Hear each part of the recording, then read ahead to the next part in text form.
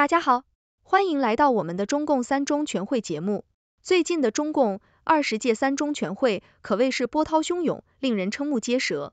从前国防部长魏凤和被指控通敌，成为党国奇耻大辱，到李尚福的行贿丑闻浮出水面，再到军报罕见大骂部队高层，这些事件无不揭示了中共内部的深层次腐败和权力斗争。习近平在三中全会上采取了一系列措施，试图巩固自己的权力。但这些措施是否真能解决中共内部的问题，仍然是个未知数。请大家继续收看详细内容。在我们今天特别节目《中共三中全会》中，我们将深入探讨近期中共政治舞台上发生的一系列重大事件。我们将从不同角度分析这些事件及其背后的复杂权力斗争和社会经济背景。本文主要内容来自明镜电视的几篇报道，详细介绍了中共高层权力斗争。军队腐败以及习近平的政治策略，这些事件不仅牵动了中共内部的权力平衡，也对中国社会和国际关系产生了深远影响。首先，让我们回顾最近一段时间中共内部发生的两件重要事件：前国防部长魏凤和被指控通敌，以及李尚福的行贿丑闻。魏凤和被指控已被敌对势力收买。这一指控不仅是对他个人的重大打击，更是对习近平领导下的中共政权的一次严重冲击。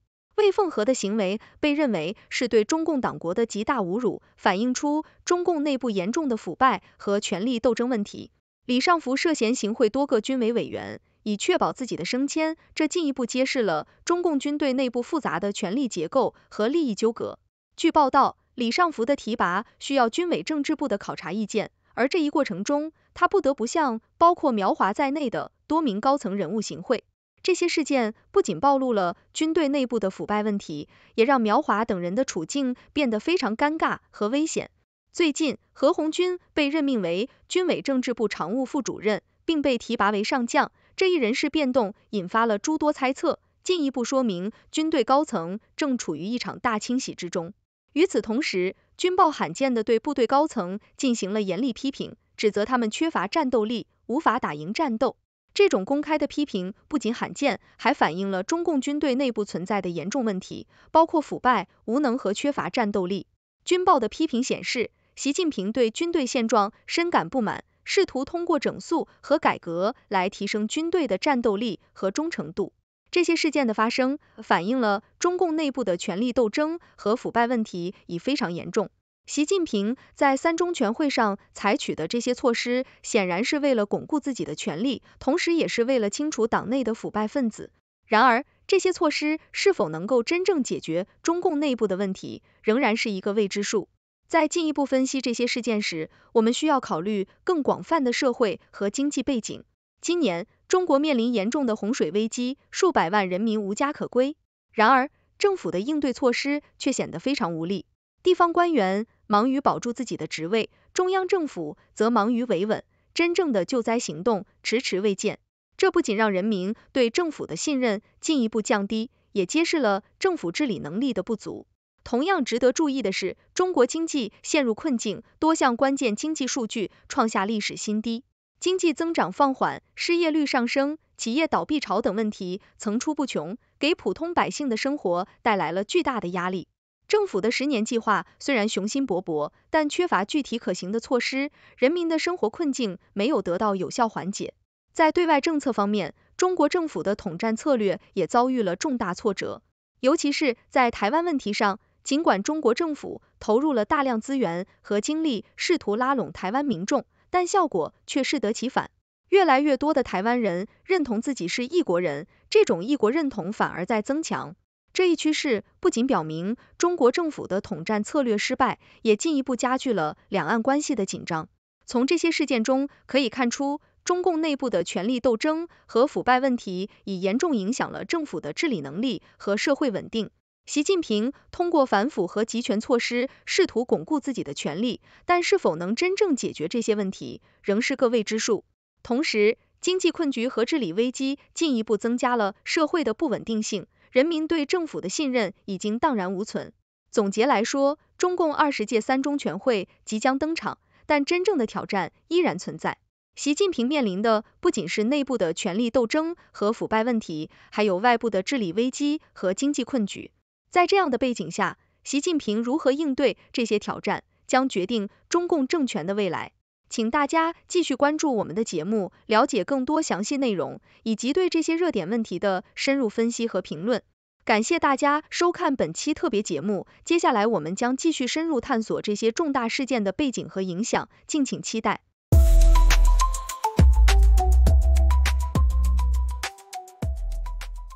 请大家继续收看节目第六度百科，对关键内容进行背景介绍。在近期的中共政治舞台上，习近平主持的三中全会成为了焦点。此次会议不仅涉及重要的政治决策，还因为一系列震撼的事件和指控引发了广泛关注。前国防部长魏凤和被指控通敌，这一指控对中共政权构成严重打击，显露了中共内部复杂的权力斗争。根据官方的起诉书，魏凤和可能已被敌对势力收买。这一指控不仅对其个人声誉造成了毁灭性打击，也被视为对中共党国的极大侮辱。同时，李尚福的行贿丑闻也被曝光，李尚福被指向多个军委委员行贿，以确保升迁顺利通过。这一行为揭示了中共官场的腐败现象，显示出在中共官场中，升迁不仅需要提名，还需得到其他高层认可。李尚福不得不向包括曾是其顶头上司的军委副主席张又侠等人行贿，反映出官场内部勾结和权力交换的普遍性。军报罕见的大骂部队高层，指责他们无能和腐败。这一批评不仅针对个别高层，更是对整个军队体系的一次深刻反思。军队内部存在的严重问题，如腐败和缺乏战斗力，已成为公开的秘密。这些事件的发生，进一步揭示了中共内部的权力斗争和腐败问题的严重性。习近平在三中全会上采取了一系列措施，试图巩固自己的权力，同时清除腐败分子。然而，这些措施能否真正解决中共内部的问题，仍是未知数。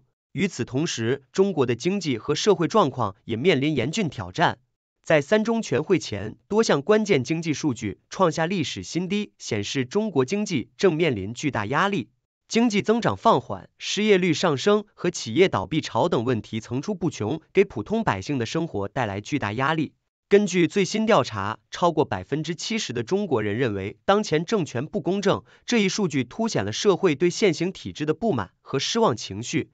社会不公和贫富差距问题未能有效解决，进一步加剧了社会的不稳定性。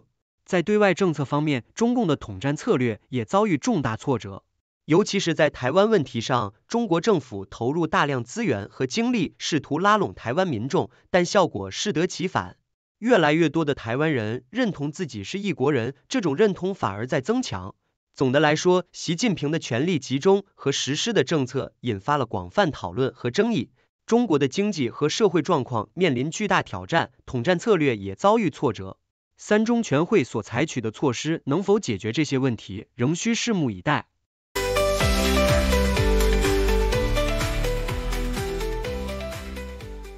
欢迎大家进入六度探索的辩论环节，我们从正反两个角度对本节目进行辩论，请出我们的辩论高手楚天舒、谢琪琪。我是楚天舒，我是谢琪琪。各位观众好，我楚天舒今天要讲的是三中全会的惊人变革。首先，魏凤和被指控通敌，这可是中共政权的一大耻辱。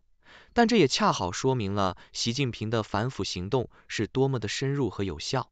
那些老虎苍蝇一个也逃不掉，无论他们多有权势、多隐蔽，都会被揪出来。就像古代的包公，铁面无私，谁都不放过。哼，楚天舒，你的比喻真是太乐观了。你说习近平是包公，可问题是这场反腐运动更像是一场宫廷内斗，斗的是权力，不是腐败。魏凤和的倒台不过是权力斗争的牺牲品，根本不是为了什么清廉。就像《红楼梦》里的贾府，表面风光，内部却腐败不堪。这种斗争最终只会让人民受苦。谢琪琪，别急呀，你是不是忘了？反腐可是党的长期任务。看看军报对高层的批评，那可不是装样子，是真刀真枪的指出问题。习近平的反腐不仅让腐败分子无所遁形，还提升了军队的战斗力。你可以质疑他的动机，但不可否认成果。这就像当年秦始皇的法家政策，虽然手段严苛，但国家确实强大了。哈，楚天舒，你真会找历史典故。但是秦始皇之后呢？他的暴政引发了什么？陈胜吴广起义，天下大乱。你说习近平的反腐提升战斗力，可是人民信任早已崩塌。洪水危机、经济困局，这些都是权力集中的结果。你这样看问题，只是盲人摸象。百分之七十的人认为政权不公，这可不是我瞎编的。谢琪琪，即使百分之七十的人认为政权不公，那也是因为改革的步伐太快，利益格局被打破，难免有人不适应。改革总是要付出代价的，就像邓小平当年推行市场经济，短期阵痛是不可避免的。你说洪水危机那是自然灾害，任何政府都不可能完全避免。至于经济困局，全球经济形势都不好，不是中国一个国家的问题。楚天舒，你这话说的真是太轻描淡写了。自然灾害，那政府的应对措施呢？洪水来了，官员们忙着保屋纱帽，百姓的生命安全谁来管？至于全球经济形势不好，这更像是借口。你只看到了表面，实际问题是制度的不公正和腐败。蔡元培曾说过，改革如同一把双刃剑，用的不好会伤了自己。这话放在今天再合适不过了。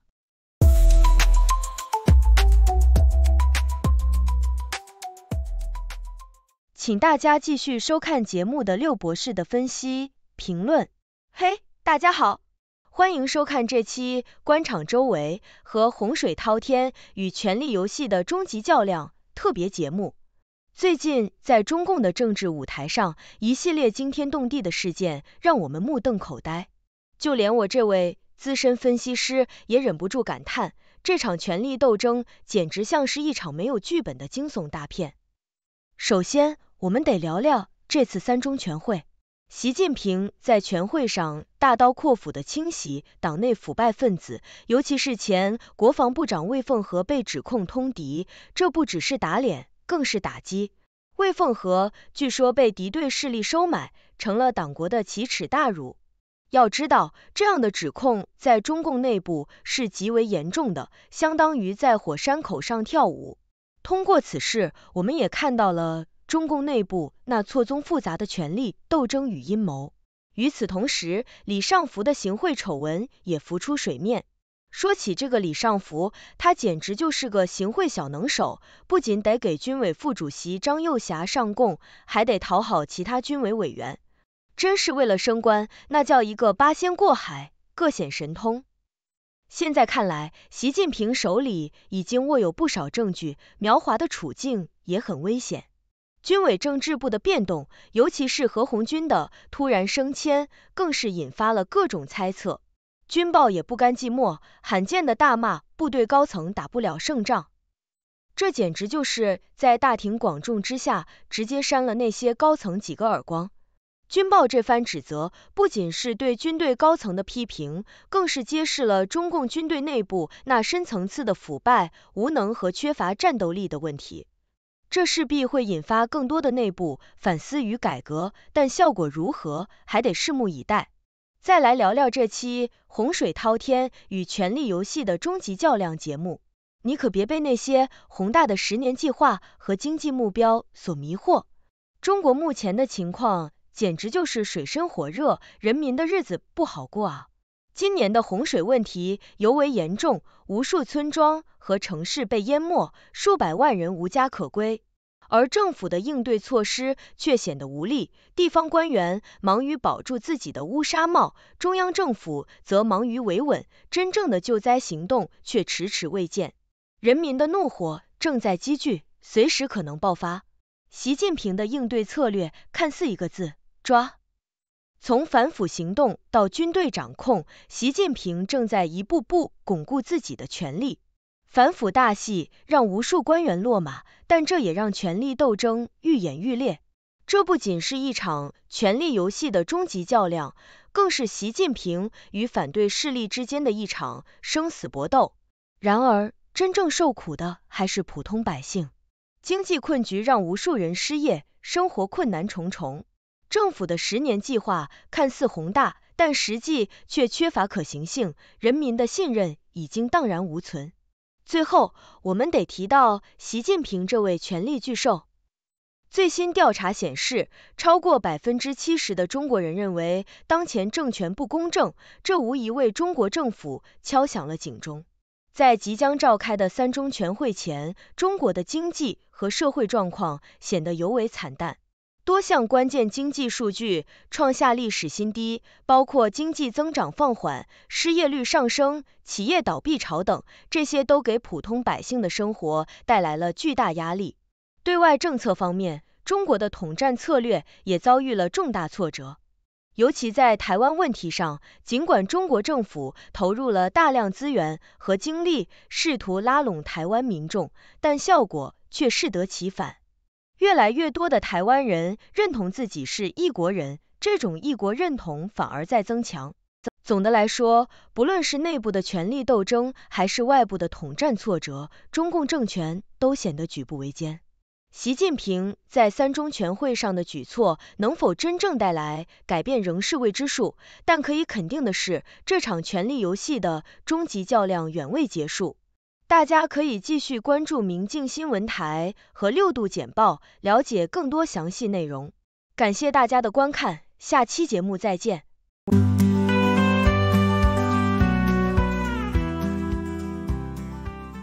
谢谢大家收看六度探索，这是一个由科学家、经济学家、媒体人、工程技术人员合作建立的新型媒体，网友与六度 AI 参与合作完成各种内容。这些内容不能作为任何决策或法律的意见。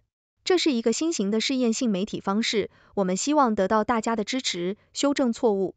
网友可以参与讨论，也可以向万能的六博士提出你能想出的任何问题。六度世界网址是六 do world，请介绍给你的亲朋好友。